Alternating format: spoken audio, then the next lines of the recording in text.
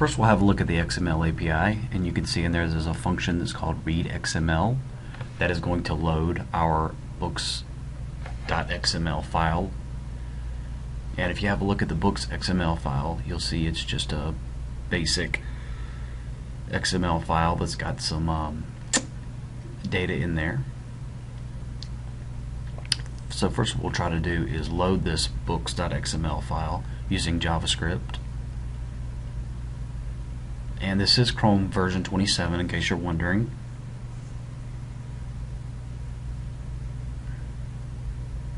So we start off by trying to run the read XML function and we get an error, a cross origin requests error. And in order to fix that and actually pull in the local XML file, we're going to have to go to our command prompt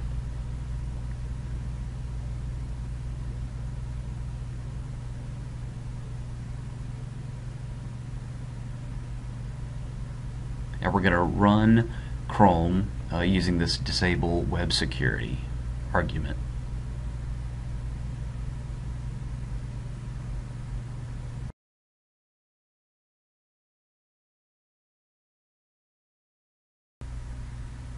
So now we're going to head back over to our JavaScript console and check that read XML function one more time.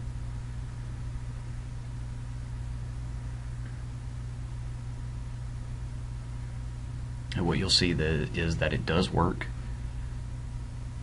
However, to view the XML data, you want to go to your sources.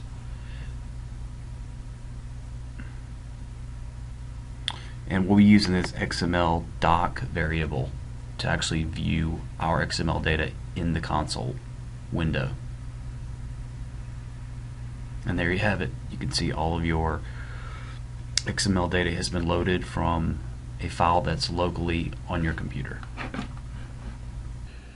Now, in addition to that, if you want to look at how this works in Firefox, you might be surprised and delighted to find out that you don't need to do the same thing with Firefox that you need to do with Chrome. Um, you can actually load that XML file, that local XML file, directly into Firefox without having to do any security disabling.